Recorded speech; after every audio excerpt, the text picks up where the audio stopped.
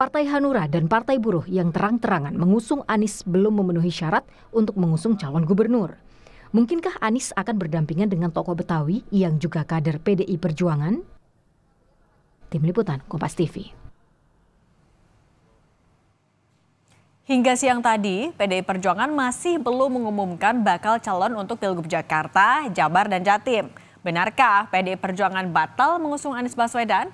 Kita sudah bergabung dengan jurnalis Kompas TV, Nanda Aprilia di kantor DPP PD Perjuangan.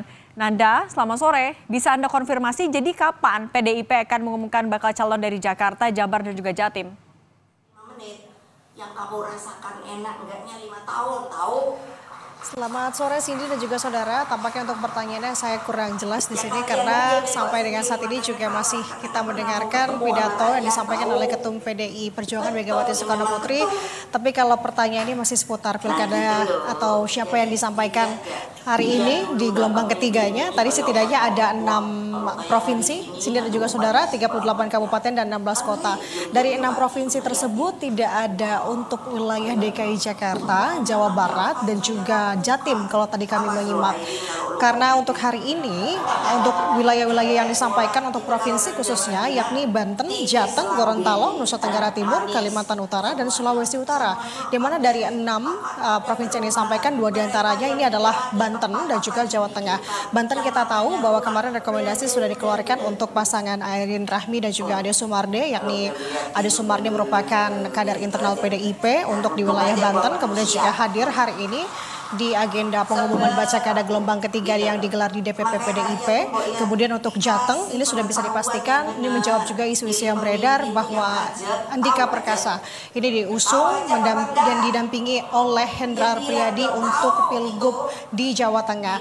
Jadi untuk tiga daerah yang tadi belum saya yang saya sampaikan belum diumumkan PDIP hari ini melihat sebenarnya kalau terakhir kali disampaikan oleh Sekjen PDIP uh, Hasto Kristianto sebenarnya akan diumumkan di gelombang ketiga. Artinya semua daerah, seluruh provinsi, sisanya yang belum disampaikan di gelombang satu dan juga gelombang kedua, ini akan dirampungkan hari ini.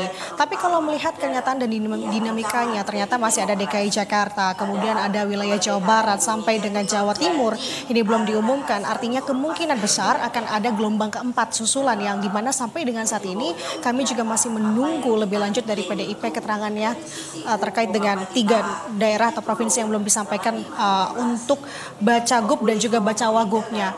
Nah, menarik di sini Sinda dan juga saudara sebenarnya sejak tadi pagi kami berada di DPP PDIP, kami sudah mendengarkan desas-desus kehadiran Anies Baswedan. Bahkan ini juga ditegaskan oleh tim Anies Baswedan yang berada di lokasi sejak tadi pagi bahwa Anies berada di DPP PDIP. Namun kami awak media memang belum melihat secara jelas dan secara uh, pasti melalui pandangan mata kami begitu ya. Dan informasi dari pihak internal PDIP juga menyebutkan demikian. Um, sampai dengan saat ini memang kami sudah tidak melihat tim Anies berada di lokasi. Artinya apakah DKI Jakarta seperti tadi yang saya sampaikan ini akan diumumkan adanya gelombang keempat artinya tidak siang hari ini ataupun waktunya secara pasti kami masih menunggu.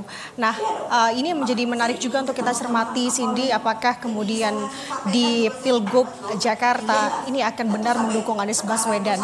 Melihat uh, dinamika yang ada sampai dengan saat ini tampaknya juga masih belum ada statement atau gamblang dari PDIP sendiri begitupun juga dari Anies Baswedan.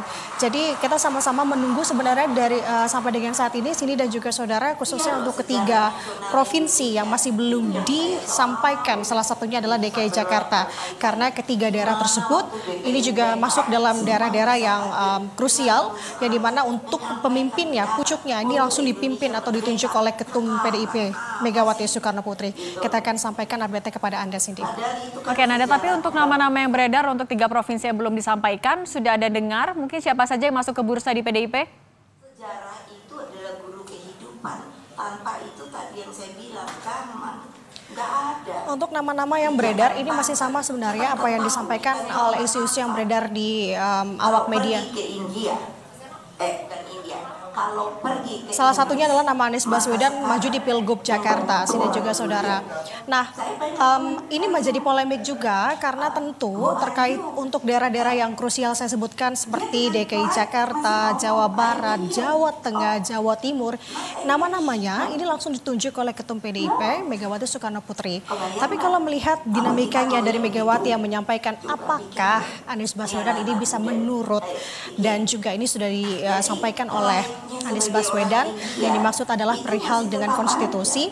Nah, ini menarik juga. Tadi di pidatonya Megawati Soekarno Putri menyampaikan bahwa tadi ia berkomunikasi dengan Anies Baswedan. Dan ia mengaku merasa tertarik dan juga eh, menarik begitu ya untuk berkomunikasi dengan Anies. Begitu yang kami kutip apa yang disampaikan oleh pidato Megawati Soekarno Putri tadi. Nah, ini apakah menjadi sinyal Sinda juga saudara udah sudah adanya restu dari Ketum PDIP Megawati Soekarno Putri kepada Anies Baswedan untuk kemudian langgeng di Jakarta bersama dengan PDIP tidak ada tiang tidak mungkin untuk politik sini dan juga saudara artinya kita sama-sama menyimak dan juga kita cermati dinamika ini apakah kemudian pada akhirnya nanti Anies Baswedan akan bersama-sama Baik. dengan PDIP maju di Pilkada Jakarta kita akan melihat nanti Cindy Baik, terima kasih jurnalis Kompas TV Nanda Aprilia. Selamat bertugas kembali.